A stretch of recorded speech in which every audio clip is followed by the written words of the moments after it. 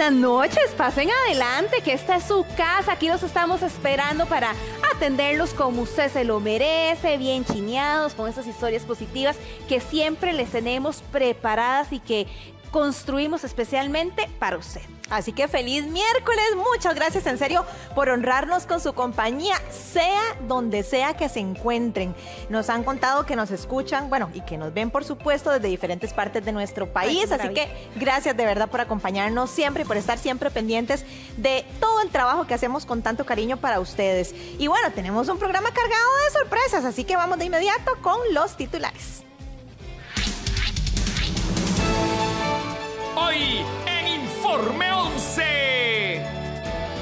Araya Blog nos lleva a conocer el volcán más alto del Salvador. Además, el linaje es el legado de los Calvo. También, los vecinos de San Rafael de Alajuela se unieron para rescatar el río Virilla. Conozca al gerente deportivo que obtuvo un récord en el deporte. El mochilero Diego Vargas nos lleva a Marte sin montarse en una nave espacial. Charlie es el guardián del bosque y de la catarata Malaquita. Estoy más hoy en Informe 11 muchas, muchas historias lindas les tenemos esta noche, así que pónganse cómodos. Y comenzamos con una muy bonita y sobre todo muy positiva porque para nadie es un secreto que todas las pequeñas acciones que podamos hacer, obviamente buenas acciones, marcan la diferencia en el mundo en el que vivimos. A veces parecen pequeñas, parecen minúsculas, pero hacen una gran diferencia y genera un gran impacto. Ay, sí, sobre todo aquellas que se hacen con mucho amor, con mucho cariño, con un convencimiento. Y esta lección de que esas pequeñas acciones son las que hacen un gran cambio, nos la va a dar un grupo de vecinos de una comunidad que se pusieron de acuerdo y dijeron, mm, nosotros podemos hacer algo por la naturaleza, podemos hacer algo por el lugar donde vivimos. Y esa pequeña acción de cada uno de ellos hizo un gran cambio que queremos compartirlo con ustedes. Vamos de camino hacia San Rafael de Alajuela a conocer un tesoro natural en medio de la ciudad. Nos contaron que hay un grupo de personas que se han cargado de mantener este lugar bien bonito, así que vamos a ir a conocerlo.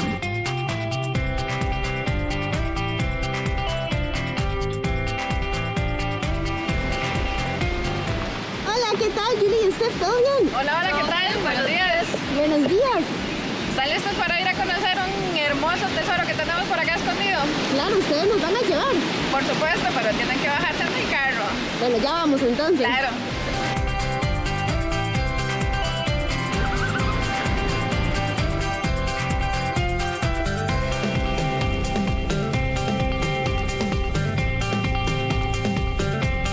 ¿Cuánto nos hace falta para llegar al famoso lugar? Bueno, de aquí vamos a caminar como unos 10 minutos aproximadamente, son 244 grados y pues va a, valer, va a valer la pena, sí, porque los paisajes, el sonido del ambiente natural es exquisito. En definitiva, valió la pena. Después de bajar más de 200 escaleras, llegamos a este hermoso lugar. Nada más y nada menos que una parte del cauce del río Virilla, en las cercanías de calle Potrerillos, en Alajuela. Este lugar es todo un tesoro para un grupo de voluntarios que trabaja para descontaminarlo. Hablan del río Virilla y piensan que es lo más sucio de Costa Rica, ¿verdad? Y en parte hay bastante razón.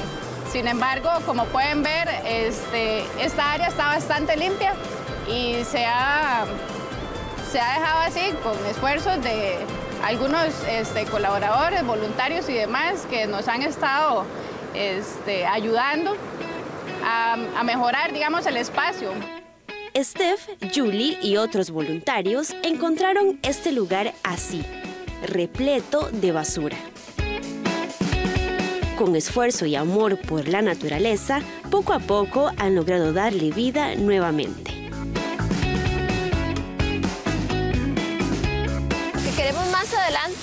Eh, seguir haciendo campañas de recolección nos ha costado un poco encontrar personas, entonces queremos como alzar la voz, que vengan más personas a ayudarnos.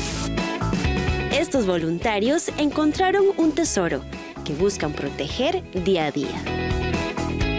Toda esta área de acá eh, hay bastantes nacientes, bastantes digo yo, no se han contado todavía, pero hay muchas nacientes. De hecho, las mismas nacientes colaboran a que el cauce del río fluya con mayor intensidad y de esa forma este, se vaya limpiando con rapidez el río. Como le dije antes, iba a valer la pena la caminata, ¿verdad? Y creo que este, el panorama habla por sí solo y creemos que si las personas se interesaran más en este tipo de, digamos, de ambientes abiertos y, poder compartir más este tipo de cosas, a futuro, de, con suerte podemos tener el río mucho más limpio y no solo este, sino todos los de Costa Rica.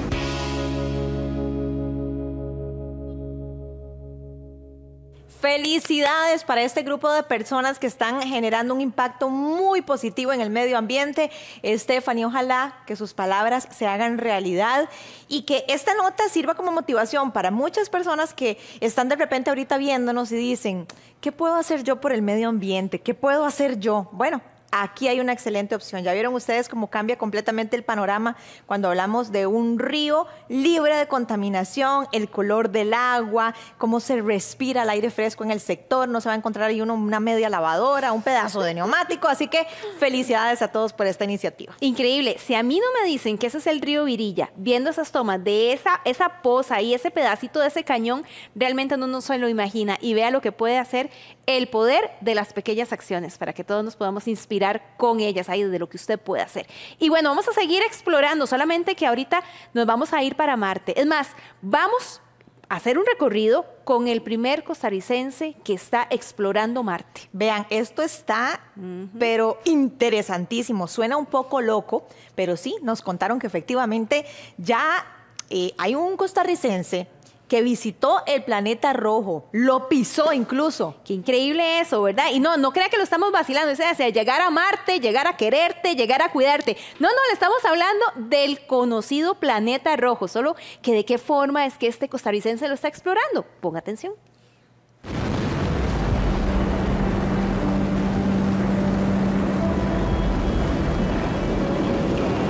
En este cohete que están viendo, estoy yo nuestro destino, Marte, el planeta rojo.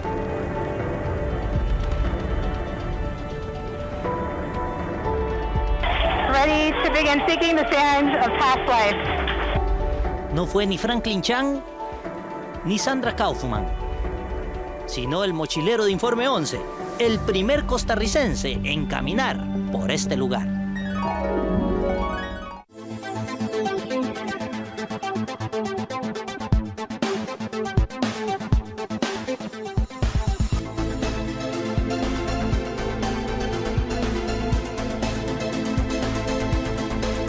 ¿Cómo se le llama a este lugar? El Tao Zulay. Y precisamente le llaman Marte por las tiras rojas que pueden observar ahí. Y, esto lo tiene la mitad la municipalidad de Turrubares porque le pertenece a ellos y la otra porque es una propiedad privada. Este sitio se encuentra en San Pedro de Turrubares y está a la orilla del camino que comunica esta comunidad con la de San Pablo y es una parada obligatoria para todo aquel que pasa por acá. Y precisamente la gente viene en bici o en vehículo y se detiene a la orilla del camino y se toman fotografías desde acá. Eso da el aspecto como si uno estuviera precisamente en el planeta rojo.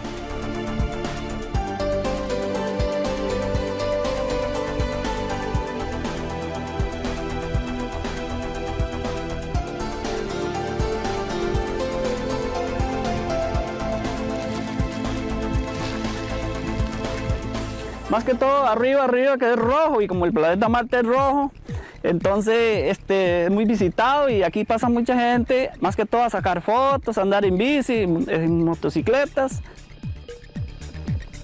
En este tajo las piedras que predominan en el lugar son rojas.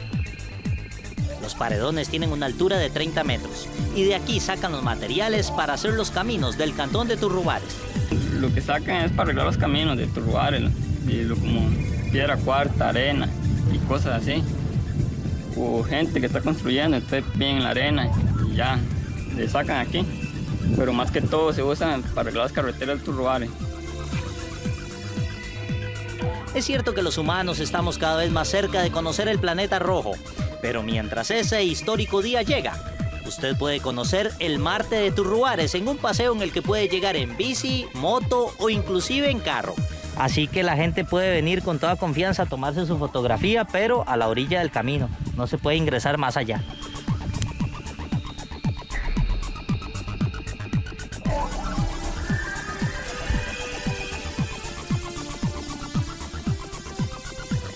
Este Diego ahora sí es cierto que la sacó del planeta, ¿verdad?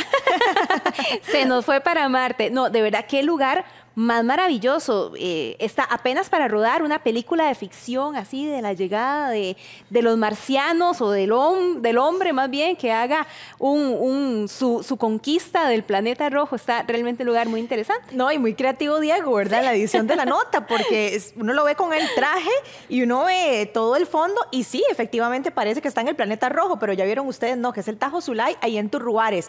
Ahora, es importante destacar que las personas pueden ir a tomar fotografías pero solamente en la orilla, colocarse en la orilla a tomar fotografías, porque ya eh, si ustedes empiezan a adentrar van a estar metidos en propiedad privada y no mm, queremos aquí ningún problema. Dios guarde, ¿verdad? pero sí pueden ir a tomar fotografías ahí a la orillita, un lugar hermoso que descubrimos aquí en Informe 11, o por lo menos nosotras que no lo conocíamos. Y totalmente rojo. Bueno, y ya que estamos hablando de hacer cosas nuevas, probablemente en su lista ahí de propósitos del 2022 o conoce a alguien que puso ahí hacer ejercicio, ¿verdad? Y que está entonces ahora Yo en creo que el 99.9% de la población lo puso, ¿será? Sí. Bueno, queremos darle una dosis de motivación para que ese impulso no se le termine a finales de enero, sino que lo continúe durante todo el resto del año y el resto de la vida. Porque la verdad que para empezar a hacer deporte no hay que tener determinada edad, ni determinada condición física, ni ciertas características es más, con un par de tenis que usted tenga, yo creo que puede arrancar. Yo creo que lo más importante es estar convencido de que se quiere hacer deporte, de que se quiere aprender algo nuevo. Y eso lo tiene muy claro el siguiente personaje, que empezó a practicar un deporte ya adulto y hoy destaca en el campo de este deporte. Eso sí, también destaca por el color rojo y negro.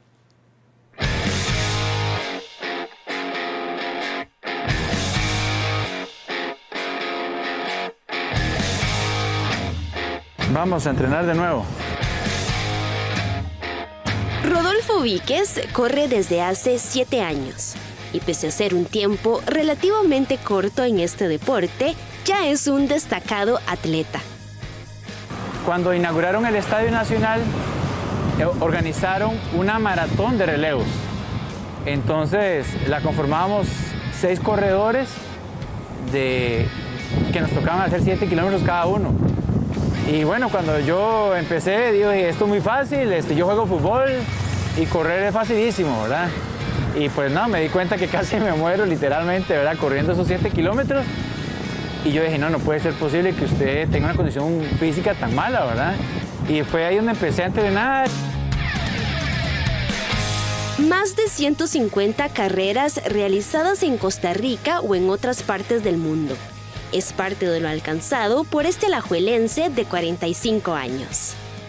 Clasifiqué al Mundial de, de Wanda eh, eh, por Age Group en, representación de Costa Rica y pude ir a correr este, esa, esa maratón que era Londres casualmente y con, y con, con esa maratón completé las, las seis majors y fui acreedora a esta medalla, ¿verdad? que tiene como la representación de, de cada una de las ciudades del, del mundo eh, de las, de las eh, eh, World Marathon Majors. Súper contento, me di cuenta recientemente que, que, soy uno de los 17 ticos que cuenta con esta, con esta medalla, entonces de muy feliz porque a pesar de que uno no es un atleta élite ni mucho menos, creo que si uno se propone cumplir los sueños se pueden alcanzar.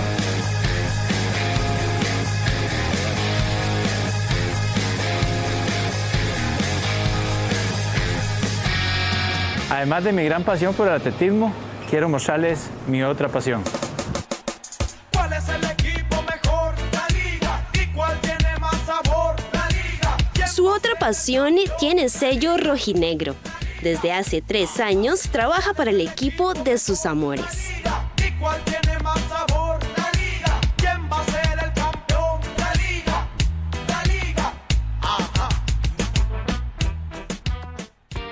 Día un compañero eh, de atletismo me dijo que en la liga estaban buscando a un gerente financiero que mandara el currículum. Y mandé el currículum este, y participé de un proceso donde tuve algunas entrevistas. Eh, y bueno, entonces eh, me dieron la opción acá de trabajar en, la liga, cerquita de mi casa, y obviamente eso pesó mucho, ¿verdad? Y, y por supuesto que más que en el club de mis amores. Buen liguista, guarda con mucho cariño la piel de su equipo. Eh, Hay una que, que guardo, digamos, con mucho cariño, que casualmente tiene como patrocinador el antiguo trabajo antes de yo estar acá.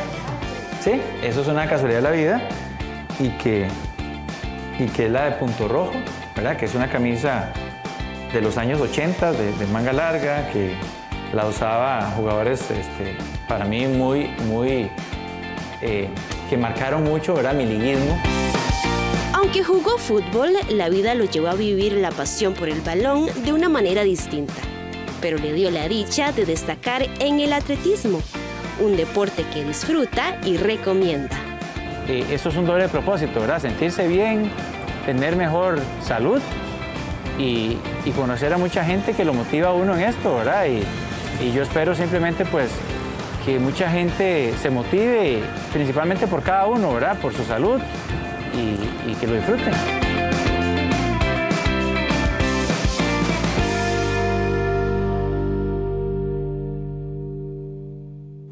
Rodolfo, ¿qué le vamos a decir? De que us- usted es pura inspiración y es que estamos hablando de que ha participado en seis grandes maratones, maratones y es un costarricense el que nos ha representado. Y es curioso porque muchos dirían, no, seguramente empezó a correr cuando tenía 15 años y no, ya vieron ustedes que fue una decisión que tomó ya siendo un adulto, pero hubo mucha fuerza de voluntad, compromiso, perseverancia para lograr obtener esos resultados. Y yo me atrevo a decir con mucho respeto que eso es lo que a veces nos pasa a las personas, a los seres humanos, que empezamos el año y empezamos con un montón de metas, llenamos una lista así enorme, esto, esto, lo otro, y a veces ponemos metas que uno dice, Señor Jesucristo, como en un mes bajar eh, 20 kilos, ¿verdad? Ah, o sea, hay, sí, hay no. que ser un poco más coherentes, ¿verdad? Y vamos dejando, como vacilábamos ahora, esas metas de lado, ya a mitad de enero, principios de febrero, ya quedaron del otro lado. Es importante ser persistentes, es importante actuar incluso aunque no haya motivación, porque la motivación no siempre está presente. La motivación es un estado mental y por ende es temporal.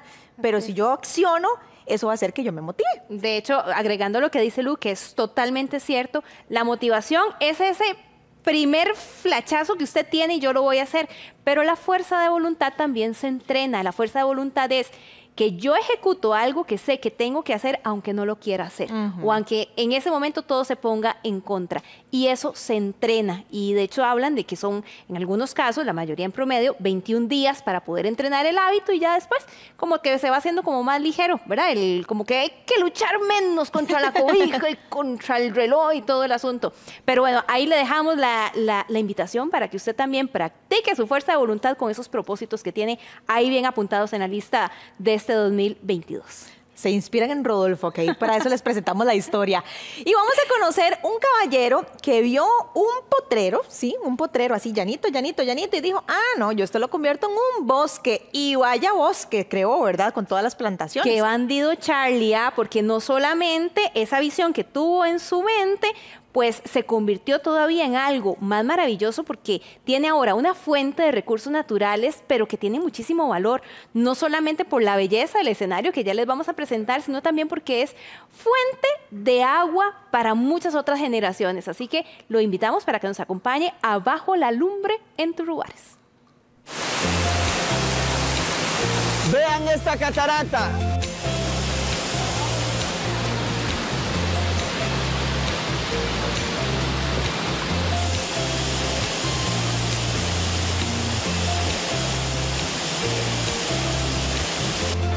Vean estas montañas, vean qué belleza. Todo esto lo hemos estado cuidando durante 20 años.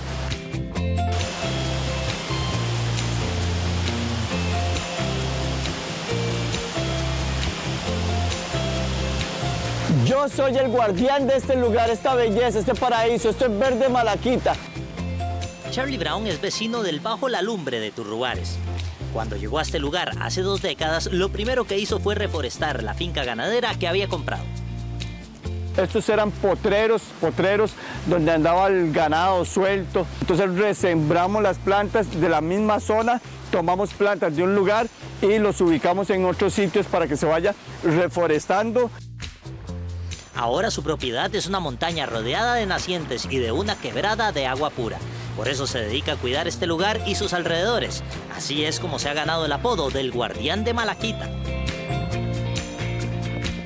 Nos hemos dado a la tarea de lo que es la limpieza y lo que es el orden. Hemos, hemos tratado de mantener las quebradas limpias porque esto es una naciente de agua, es agua totalmente pura.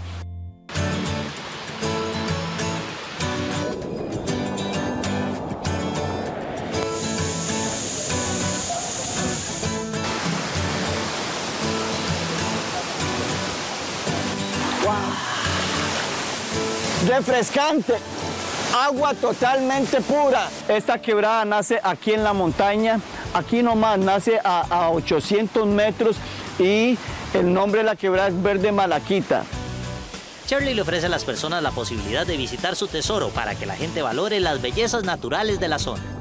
Ya hemos venido varias veces con los familiares y, y es delicioso. Aquí hay un clima calientico, pero aquí es como estar en otro mundo, fresquititico, una maravilla. Ah, es mágico, ¿verdad? Renovable. Yo vengo de aquí mismo, de Turuares, pero nos gusta porque es eh, eh, la energía, ¿verdad? Que uno va renovando. Hay que recordar que Turrubares es un cantón que le pertenece a la provincia de San José. Este paraíso se encuentra a solo 45 minutos del Estadio Nacional. Por eso Charlie espera que lo visiten, para que la gente aprenda a apreciar nuestros bosques y ríos.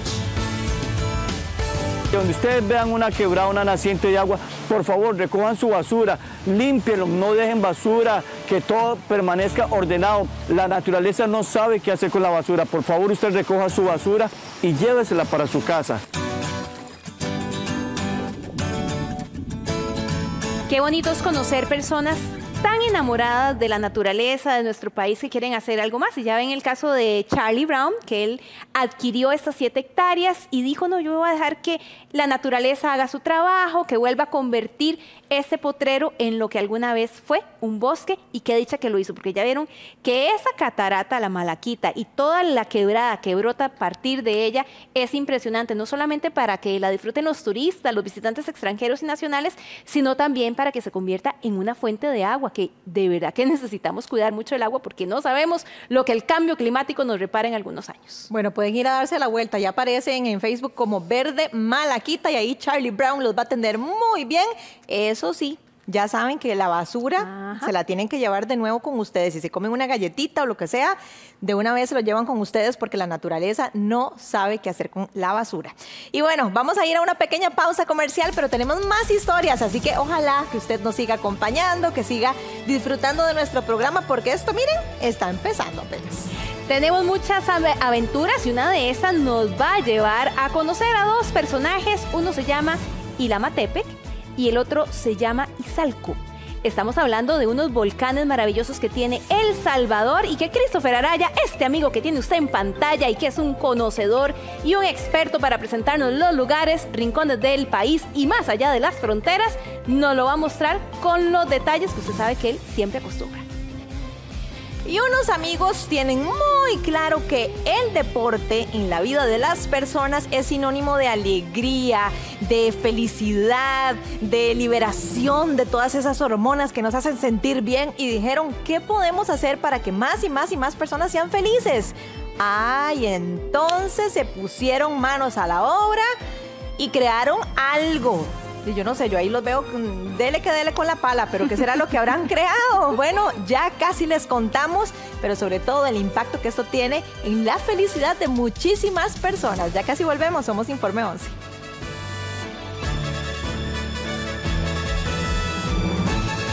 minutos y es el momento ideal para pegarnos una buena aventura y sobre todo porque queremos que lo haga para conocer a dos personajes imponentes, guapísimos, que llaman la atención de cualquiera en El Salvador. Le estamos hablando de dos volcanes que tienen nombres bien particulares. Ahí estábamos tratando Ay, de... Dios santo, Señor Jesucristo. Bueno, uno se le conoce como el Santa Ana eh, y el otro se le conoce como Izalco. Pero entonces, ¿cuál es la probabilidad que tiene una persona de ir a El Salvador, perderse en una de esas carreteras y de paso terminar en un volcán? ¿Cuál, cuál es la probabilidad que creen ustedes? ¿Vos, Eh? ¿Será que es muy Mira, probable? dependiendo de la compañía y dependiendo del nivel de ubicación de esa persona, ¿verdad? O sea, yo voy en esas. facilito, facilito. Sí, yo ¿Verdad? también. Con mi nivel de despiste. Yo termino en un volcán y después en el otro. ¿Es verdad? Lo cierto es que dice nuestro compañero Christopher Araya que es un lugar hermoso y que disfrutó de unos paisajes espectaculares. Así que nos vamos con él hasta El Salvador y estos volcanes. Esto es Vivencias del Blog. Buenos días, tardes o noches, espero que estén súper bien.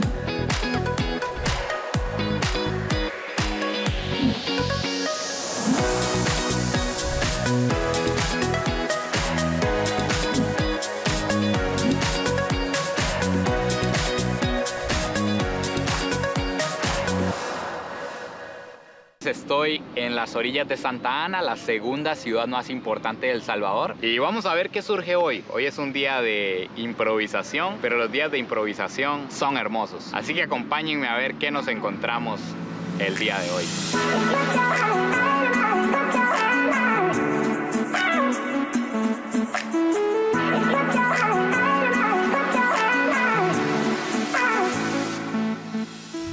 Amigos, me complace informarles que ahora sí agarramos la curva que había que agarrar. Por allá atrás está la pista y es donde pasamos directo hace horas. Y ahora sí nos salimos de la pista por aquí y llegamos a El Congo, que es un puesto lleno de ventas. Hay un montón de puestos de comidas, de frutas. Es un mercado, hay bastante movimiento por aquí. Aquí pueden ver lo que les decía, es un lugar muy concurrido y está lleno de mercaditos, todo esto por aquí. Amigos, no sé si me escuchan bien ahí, pero resulta que la calle que nos lleva a subir el volcán Santa Ana pasa por el lago Coatepeque. Esto se ve increíble, ustedes tienen que verlo. Aquí paramos en medio camino porque en serio tengo que enseñarles ahí que me disculpe el dueño de esta propiedad.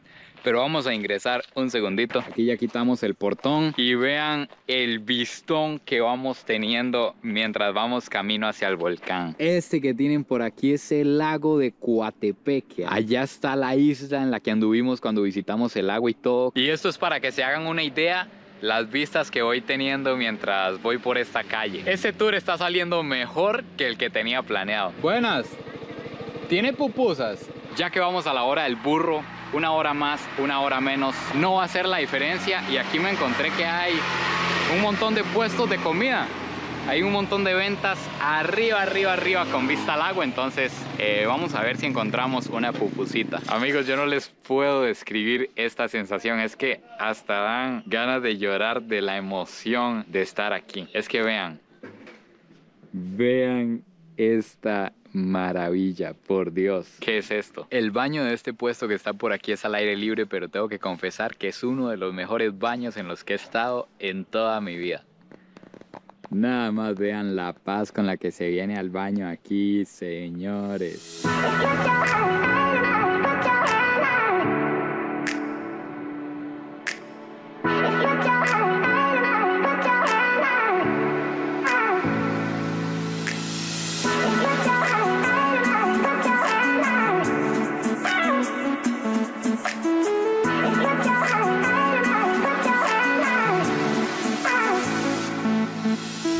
Bichos, las pupusas una vez que se prueban ya no se pueden dejar de probar, se convierten en una religión. Así que ya me pedí aquí mi pupusa revuelta, mi pupusa de frijol con queso, pero vean esta delicia. Lo más rico es ver cómo el queso está completamente derretido aquí adentro. Además a las pupusas se les ponen eh, estas salsas y estas cosas que nos agregaron aquí. Y eso agregado al bistón que tenemos en este lugar es indescriptible.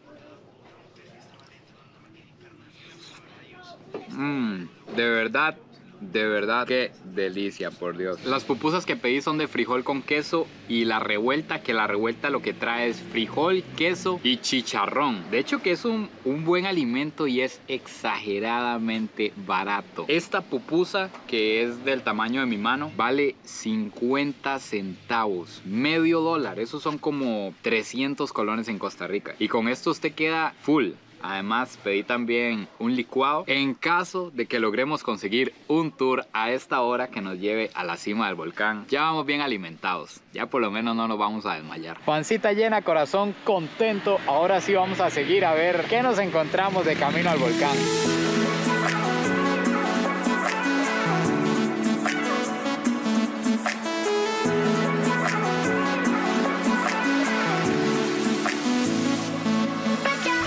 Nuevamente no agarramos una vuelta y nos perdimos, entonces tenemos que dar vuelta en U por aquí y devolvernos a buscar el desvío. Finalmente, después de tanto, al parecer, ahora sí vamos por el camino correcto. Ya estamos al otro lado del lago. Eso que ven ahí es la isla Teopán en el lago Coatepeque. Y en teoría ahora sí vamos directo hacia el volcán de Santa Ana. Amigos, aquí en el camino me encontré algo muy interesante que puede parecer raro, pero está relacionado al Día de Muertos que vivimos aquí en El Salvador. Me encontré en un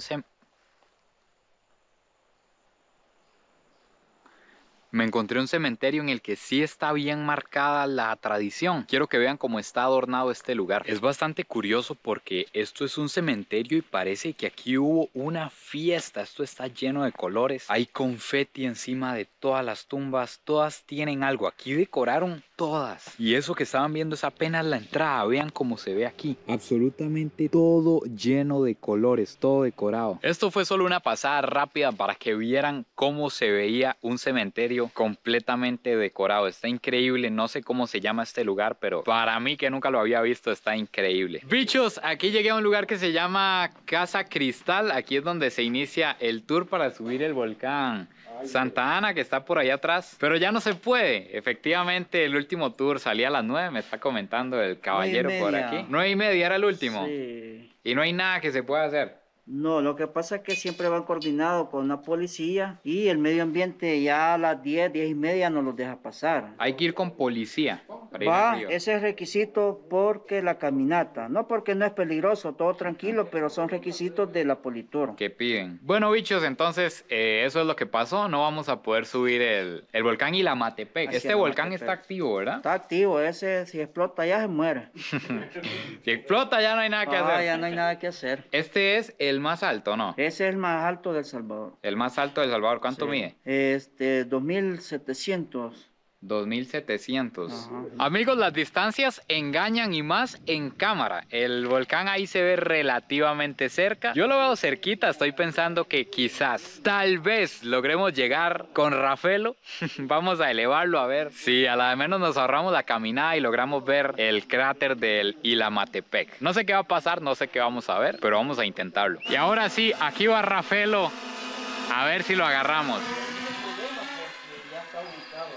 Pucha, se ve cerca, pero qué va, está bien largo. No sé, no sé si Rafelillo lo logre. Pucha, no, está, está bien largo. Tengamos fe, tengamos fe en Rafelillo. Y si no, por lo menos vamos a tener unas buenas tomas cerca del cráter. ¿Será posible? ¿Será posible? Estamos a nada, pero se nos está nublando. Eh, entramos en una nube, de hecho que ahorita no estoy viendo nada. Creo que el cráter está ahí, pero es cuestión de ver si se despeja. No sé, no sé qué va a pasar. Aquí estamos en el puro cráter, pero no sé si vamos a lograr ver lo que hay dentro. Ya estamos, ¿será que lo logramos? ¿Será que lo logramos? ¡Oh! Ahí está, brother.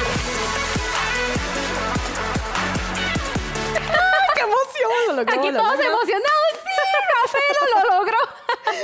Ay, no, no, no, siempre nos encanta Christopher, de verdad, es tan, tan genuino, tan auténtico, y nos explicó hasta detalles que, que no sé si preferíamos omitir o no, pero bueno, muchas gracias hasta por contarnos eh, de La paz que se puede sentir Eh, sí. eh, con una vista como esas cuando uno va al baño. Al aire libre, ¿verdad? Muy importante. Al aire libre. Ajá, sí, no pero lo importante es que pudimos ver el, el volcán finalmente. Eso, no, pero yo quedé intrigada también que fue lo que lo asustó en el cementerio. Sí, ¿verdad? Quedó así como, Quedó como así. como frisado. Y en un cementerio, que le pase a uno eso. Bueno. Hay que preguntarle después a Cristo. Lo bueno es que hay segunda parte. Eso sí. Vamos, a, ver. tener segunda parte, así que ustedes estén muy pendientes porque en los próximos días vamos a ver cómo le terminó de ir a nuestro compañero Christopher Araya allá por El Salvador y con los volcanes que se fue a visitar. Ay, así es.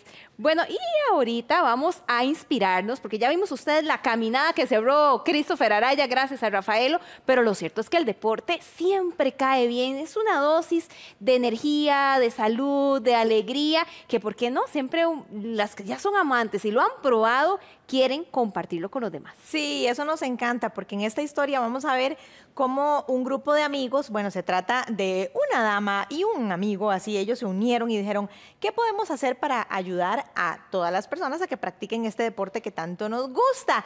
Y pusieron manos a la obra o manos en la tierra, con, así con pico y pala. Y bueno, crearon algo maravilloso que les queremos mostrar a ustedes. Una atracción, vamos a ver si nos atrae a nosotros también.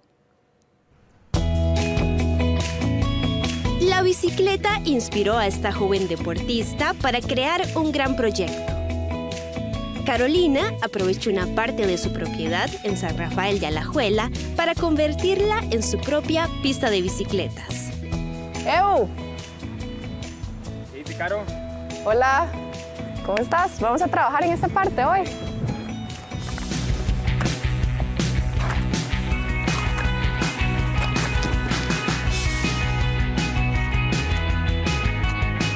Eh, nuestra intención es este, obviamente fomentar un deporte al aire libre como es el ciclismo de montaña, atraer este, población joven y adultos principiantes que quieran obviamente mejorar su técnica en este deporte. Para nosotros es una satisfacción el estar acá trabajando y poniendo nuestro esfuerzo en un proyecto como estos. Nos apasiona el deporte, queremos llevar esto a otras generaciones nuevas y el hecho de que nosotros estemos trabajando, ¿verdad? Y siendo los creadores de esto con nuestras propias manos significa muchísimo para nosotros. A pura pala y pico, Carolina junto a su amigo Eugenio dieron forma a la pista.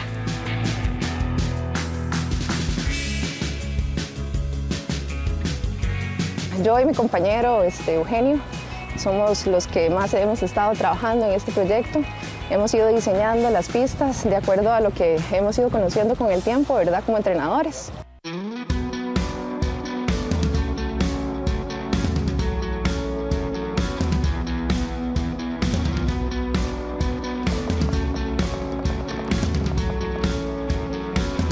Sí, pues metro a metro lo hemos ido haciendo eh, con brincos y saltos, ¿verdad? Y nos ha salido pues bastante bien el asunto. Creo que va a ser de- del disfrute de muchos. Sí ha venido mucha gente acá y nos ha dado buenas recomendaciones. Estos amantes del deporte utilizaron su ingenio para crear un proyecto que no solo les da sustento, sino también la alegría de saber que quienes los visitan disfrutan de su atractivo.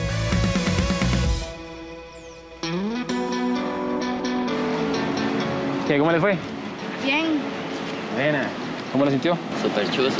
Tuanis, tuanis. Está muy bueno. Denle otra vez, a ver.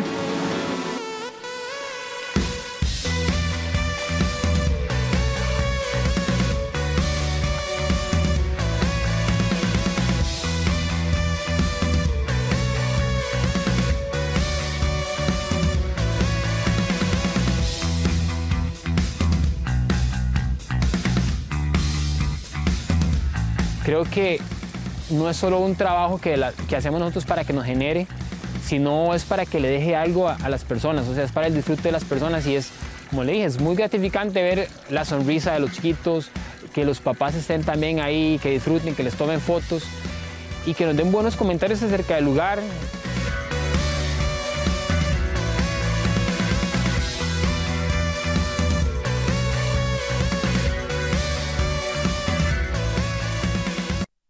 Wow, cuando uno ve historias como esas es que uno dice, qué ingeniosos que somos los ticos, sacamos buenas ideas, de pronto donde alguien dice, no, pues ya aquí ya apague y vámonos, vean lo que se inventaron Carolina y Eugenio, no solamente un negocio, sino una forma también de motivar a otros y a ellos mismos de agarrar la bicla y empezar a pedalear para disfrutar un deporte tan maravilloso como ese. No, y me encanta que lo ponen a los servicios o al servicio de las demás personas, ¿verdad? Porque no están pensando solamente en ellos. Así es. Bien claro lo expresaron. O sea, la idea es que más y más y más personas practiquen el ciclismo, eh, que vayan ahí con su bicicleta y disfruten con su burbuja, con sus hijos, pero al aire libre. Así que los felicitamos por esta iniciativa y ojalá que veamos más iniciativas como estas en diferentes sectores del país. Necesitamos encontrar más ambientes con protocolos eh, seguros donde salir, compartir con la familia y practicar deporte. Entonces esta me parece que es una muy, muy buena opción. Así que felicidades y ojalá, insisto,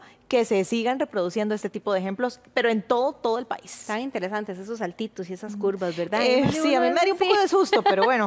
Yo me agarro Aquí bien fuerte, la barrera es cierro los ojos y digo que salga lo que Dios quiera. Algo así sería. Bueno, y ahora vamos a conocer parte de la historia de nuestra, de nuestra sangre, de nuestra identidad con nuestra sección Linajes, porque hace muchos años, cuando no habían telenovelas, los mejores chismes de la época era cómo se empezaban a entrelazar las familias, a construir toda una historia alrededor de un apellido. Y en esta ocasión, el apellido Calvo se trae una historia que de verdad que parece digna de hacer una telenovela. No, no, es como de telenovela, pero así magistral o de película, así El como culebrón. de época. Sí, y el culebrón, me encanta, me encanta. Así que si usted lleva eh, apellido, su apellido es Calvo como primero, segundo apellido, conoce a alguien que lo tenga, llámelo en este momento porque les vamos a contar la historia de los Calvo, gracias a nuestro compañero Emanuel Mora. Todo empezó con un español, un español que desafió todos los prejuicios, todas las leyes de su época por amor. ¡Tierra a la vista! ¡Hemos llegado a Cariay! Aló, mamá. Soy Pacífica. Ya la tengo lista. Quito de esto. ¡Lo logré! ¿Por qué tanta bulla? Parece una fiesta de mi antiguo pueblo Barrigones.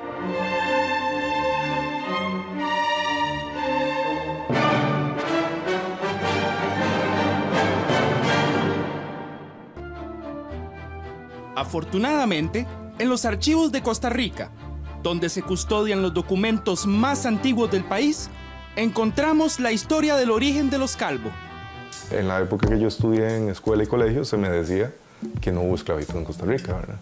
Cuando después ya encontré en las propias raíces mías algunos antepasados africanos, nos damos cuenta que de Costa Rica era uno más del conjunto latinoamericano donde la esclavitud formaba, formaba parte de la vida cotidiana. A nuestros ojos, esa frase parece terrible. Pero en la época en que vivieron Tomás Calvo y Eugenia Barca, era una realidad. Según los registros coloniales, esta pareja de casta española y vecinos de la ciudad de Cartago llegaron a tener 27 esclavos a lo largo de su vida. Algunos heredados del padre de Tomás, Miguel Calvo, quien fue el que trajo este apellido a Costa Rica a inicios de los años 1600. Bueno, el fundador de los Calvo en Costa Rica eh, se llamó Miguel Calvo. Él era sevillano, o sea, nació en, en Sevilla, España, y se vino para Honduras. Y finalmente, en una de las tantas incursiones piratas que dejaron pobre Trujillo, se vinieron para Cartago. Miguel Calvo es uno de los primeros de los que queda evidencia que era esclavista, o sea, era dueño de esclavos. Pero la vida da muchas vueltas. Y Tomás y Eugenia nunca habrían imaginado la irónica sorpresa que les tenía preparada el destino. Hacia 1669 compraron una esclava de 20 años. Su nombre, Ana Cardoso. La mulata tenía lo suyo y estaba muy joven. Pronto atrajo la mirada de Miguel Calvo, uno de los hijos de Tomás Eugenia. Y en sus ojos estalló la pólvora de la pasión. Los documentos de la época revelan que tuvieron uno, dos, tres, cuatro y cinco hijos. Y esta historia es interesante porque, bueno, los Calvo en la actualidad descienden de, Miguel, pero curiosamente, ¿verdad? Este, Miguel eh, se enamoró de la esclava de sus padres, una que se llamaba Ana Cardoso. También le decían Ana Pereira. eh, y tuvieron cinco hijos. Los primeros tres nacieron cuando ella era esclava y por tanto entonces eran esclavos. Que un español tuviera hijos con una o varias esclavas no era algo anormal. Pero en el caso de Miguel y Ana, parece que hubo amor. Tal vez una muestra de ello es que Miguel se preparaba para convertirse en sacerdote.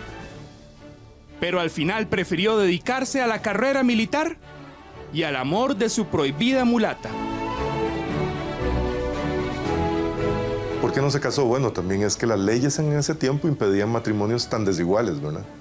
De un español de la más alta jerarquía con una esclava. Y digamos, mm, con una esclava era imposible. Y aún con una ex esclava, ¿verdad? Siendo él de la categoría que era. Entonces, socialmente se lo hubieran impedido sus parientes posiblemente, y hasta sus padres, ¿verdad? Los padres de Miguel se vieron en una encrucijada. La relación de su hijo con la esclava no era un secreto. ¿Cómo iban entonces a permitir que sus nietos, su misma sangre, crecieran siendo esclavos? Por eso decidieron declarar libre a sus nietos y al amante de su hijo. Años después, Miguel también haría su parte. Reconoce a todos sus hijos en 1716 y es el primer español, digamos, que en Cartago reconoce a sus hijos mulatos. Al darles un español el reconocimiento como hijos, hay una especie de ascenso social, ¿verdad? Porque no es lo mismo ser un hijo mulato, de ser mulato mm, de un padre no que no se sabe quién es, a ser mulato, hijo de un padre español, además de la categoría de esta familia. Y aunque cueste creerlo, los hijos de Miguel, una vez libres, también tuvieron esclavos. A su vez es curioso este caso porque los que fueron anteriormente esclavos llegan a ser ellos esclavistas, ¿verdad? Su padre le dejó a sus hijos, que eran mulatos, ¿verdad? Los esclavos. Y es de esta familia que descienden la mayoría de los 24.200 costarricenses que hoy llevan el apellido Calvo, además de los 23.900 que lo llevan como segundo apellido. Pero son aún más los que llevan su sangre. Y todos estos hijos, ¿verdad? Dan origen a una familia inmensa, ¿verdad? Que descienden infinidad de personas en, el campo cultural, en el político. Por ejemplo, en el político están los hermanos Arias Sánchez, ¿verdad? Don Oscar y, y don Rodrigo. En el campo cultural está Manuel Monestel, el músico. Está, por ejemplo, la historiadora Eugenia Barra. Y es así como nos damos cuenta que muchas veces la realidad supera la ficción. Porque esta historia fue real. Sucedió en Costa Rica hace más de tres siglos. Y es la historia de su sangre y de la mía.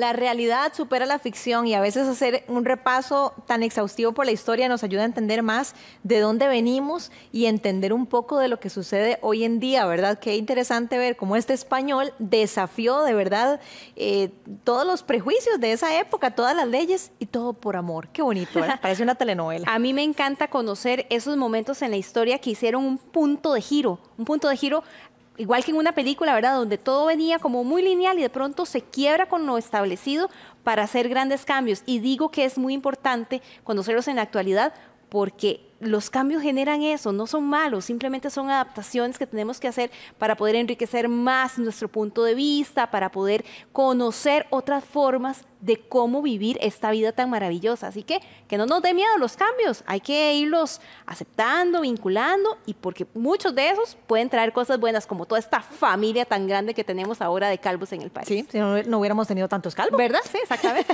Amigos, vamos a hacer una pausa comercial. Quédese con nosotros. Tenemos muchísimo más. Venimos con lo que aprendimos. Tenemos el cuentazo. No, no, no, no. ¿O ¿Ustedes qué creían? Que ya nos íbamos a ir. No, los. Nada, acostarse todavía. No, no, no. Aquí los esperamos después de la pausa.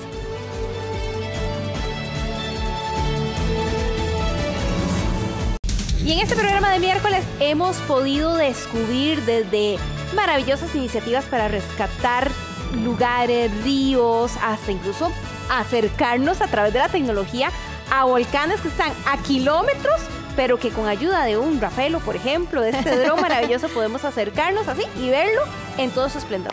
Hemos aprendido muchísimo. A veces los límites están, miren, solo en nuestra mente. Pero ¿qué les parece si de inmediato vamos con lo que aprendimos? La naturaleza es sin duda nuestro máximo tesoro. En el mundo nos reconocen por eso, pero la verdad tenemos muchos pecados ocultos tras ese concepto. El río Virilla es un ejemplo de ello. Prácticamente ensuciamos sus aguas en menos de 100 años. Ahora está enfermo. Por eso el esfuerzo de los vecinos de San Rafael de Alajuela es de aplaudir, de seguir y repetir. Aunque quizás es un esfuerzo aislado, esta iniciativa haría mucho bien. Rescatar el Virilla parece imposible, pero una labor similar puso en práctica don Charlie Brown. Hizo de un potrero un bosque y con la reforestación surgió un tesoro hermoso, único, un paraíso llamado Malaquita. Esta historia nos enseña que de los errores se aprende y que además pueden revertirse, que la naturaleza puede salvarse y que hay personas con el deseo y la acción para hacerlo. Qué bonito. Y el programa estuvo lleno de muchas historias de personas que hacen y que han hecho muchísimo por el medio ambiente. Y eso es algo que siempre, siempre, siempre vamos a destacar aquí en el programa. Qué bonito, y sobre todo porque son acciones que uno dice, pero ¿para qué juntas esa botella si luego van a llegar como 10 más, verdad? Pensando en el esfuerzo de sus vecinos de San Rafael de la Juela. Bueno, son una botella menos, dos botellas menos que gracias a Dios no están ahí y que hacen este lugar más limpio. Y bueno, ¿qué tal si ahora cerramos este programa como Dios manda? Que es con un cuentazo que siempre nos inspira, que siempre nos deja algo en el corazón. ¿De quién más? De Ana Coralia Fernández. Esto es El Cuentazo.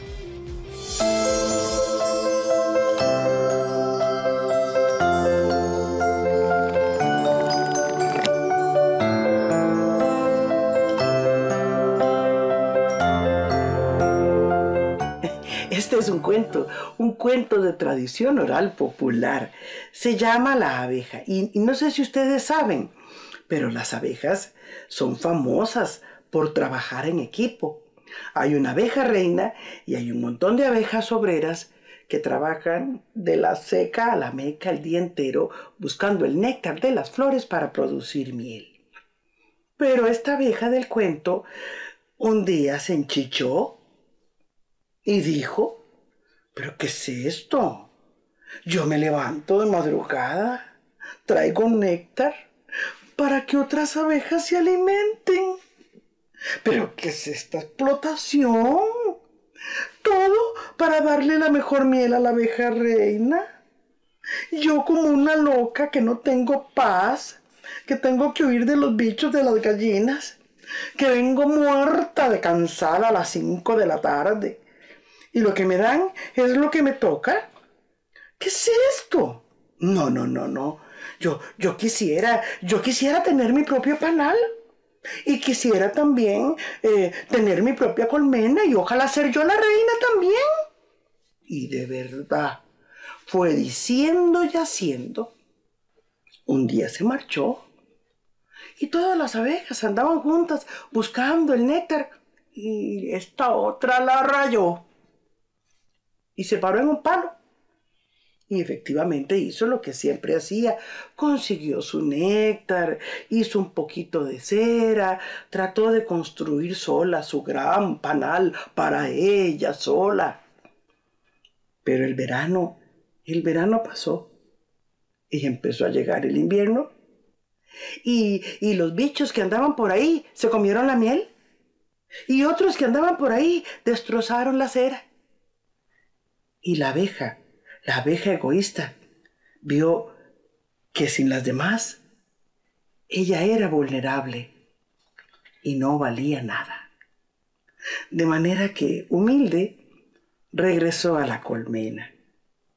Y, lejos de lo que ella creía que todos le iban a reclamar, sus compañeras se alegraron de verla. Le tenían ahí sus porciones de miel y además su celdita en la gran e inmensa colmena.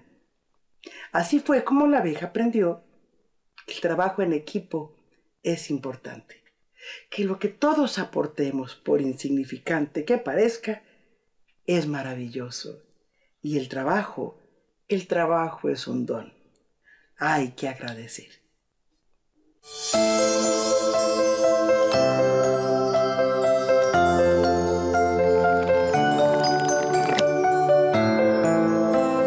Cuento de Ana Coralia estaba apenas para cerrar este programa. De verdad que son esas pequeñas acciones, esas que trabajamos todos en unión, las que logran hacer el cambio. Así que con eso lo nos dejamos. vamos, nos vamos. Cada quien tiene su luz, recordémoslo siempre. Gracias a ustedes por habernos acompañado, los queremos muchísimo.